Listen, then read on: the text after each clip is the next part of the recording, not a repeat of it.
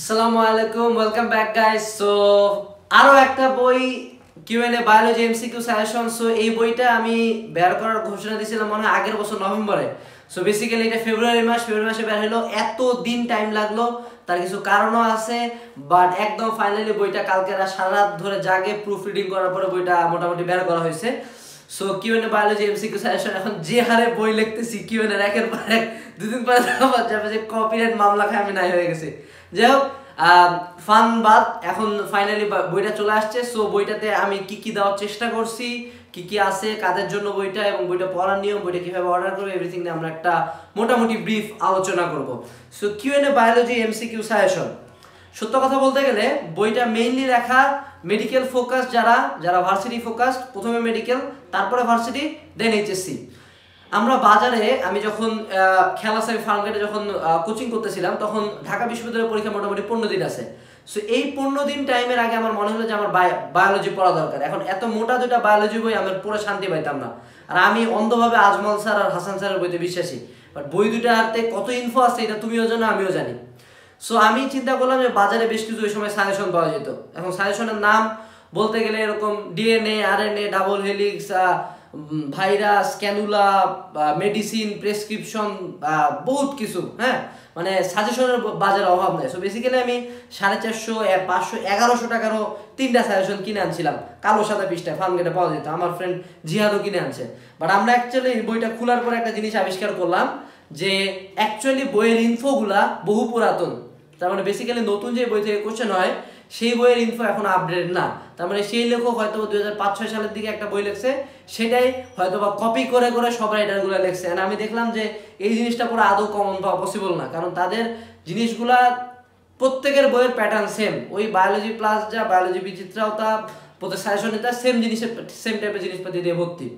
But main বইয়ের উপর যে ফোকাস কোশ্চেন যে মেইন বই থেকে হয় সেটা কেউ গোসায় লেখা ট্রাই করে নাই। সো আমি চিন্তা করছিলাম যে এমন একটা বই কীভাবে তৈরি করা যায়, যেটা একটা স্টুডেন্ট জাস্ট এই যে, তোমাকে হাতে ধরাতে বলব যে, ভাই, এই যে একশো তেষট্টি পৃষ্ঠা আছে, এই একশো তেষট্টি পৃষ্ঠা পড়ে যাবি, তোরা এইচএসসি হোক মেডিকেল হোক ভার্সিটি হোক কে এমসি এমসিকিউ তো আটকাইতে পারবে না।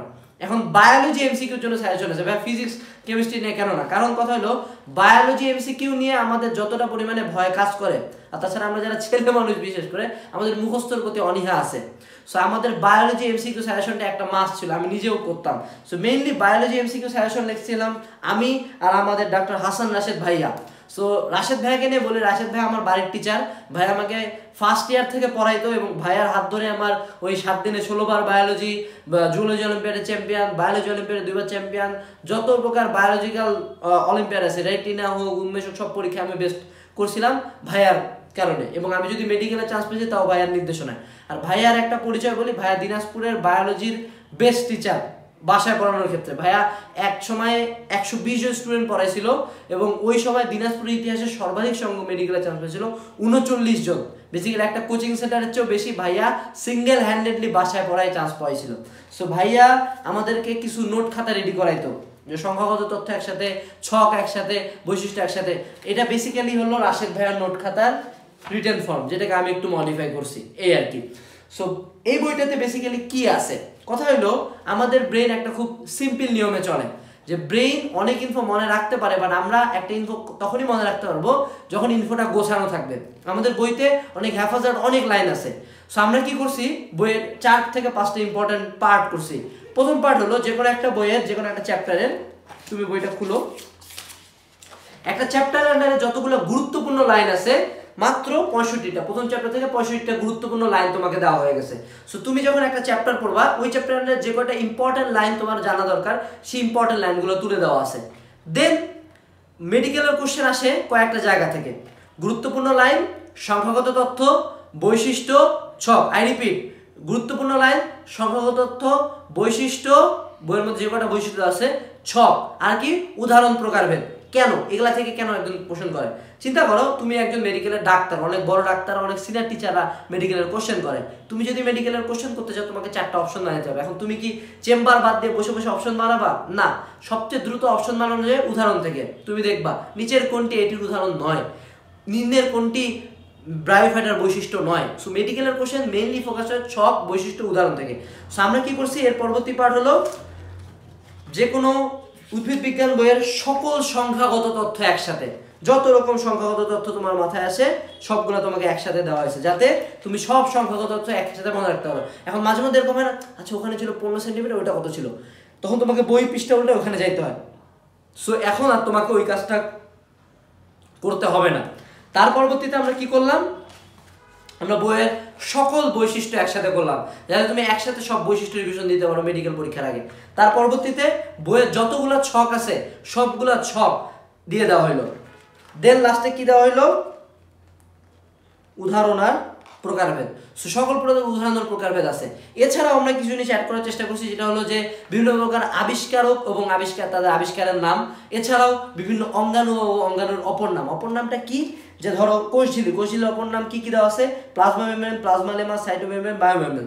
এখানে বলেই রাখি, বইটি লেখা হয়েছে, বইটি লেখা কখনো হয় না অ্যাকচুয়ালি এই বইটা সম্পূর্ণরূপে আজমল স্যার, প্রাণীবিজ্ঞান দ্বিতীয় পত্র, জীববিজ্ঞান দ্বিতীয় পত্র এবং হাসান স্যার উদ্ভিদ বিজ্ঞান বা জীববিজ্ঞান প্রথম পত্র থেকে নেওয়া এবং সাহায্য নেওয়া হয়েছে উন্মেষের মেরিটিক্স থেকে।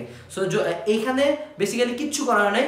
তোমাদের জন্য মানে আমাদের ব্রেনের জন্য যেইভাবে ইনফোগুলা আলাদা করে একসাথে গোছায় দেওয়া হয় বেসিক্যালি এটা হলো গোছানো ফরম্যাট এবং বেসিক্যালি উদ্ভিদ বিজ্ঞানে আছে ছিয়াত্তরটা মাত্র পৃষ্ঠা এবং প্রাণী বিজ্ঞানে আছে ষাট, আরও ওরকম ছিয়াত্তরটা পৃষ্ঠা এই একটা বই পড়লে I can give you a guarantee যে তুমি এমসিকিউতে বিশের উপরে পাবা।